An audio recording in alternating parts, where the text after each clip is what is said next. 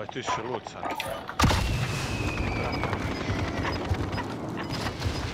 You crazy dog, you crazy dog. Nemam one kurca onog kako da koristim.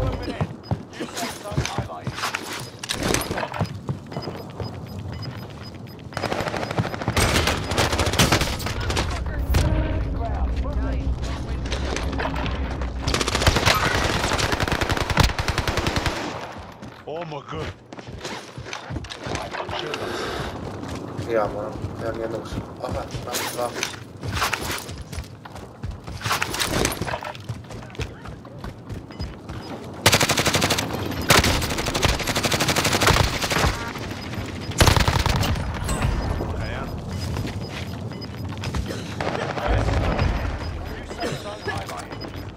Despre nas tu, tu.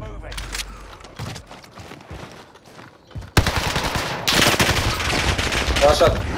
A ja. Oh my god, bravo.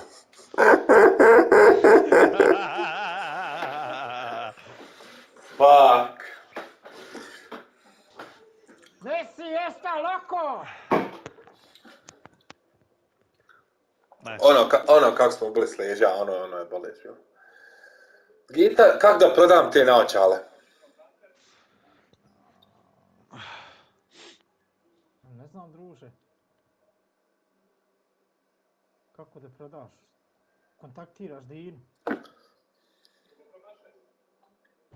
Savez, ono kontakto,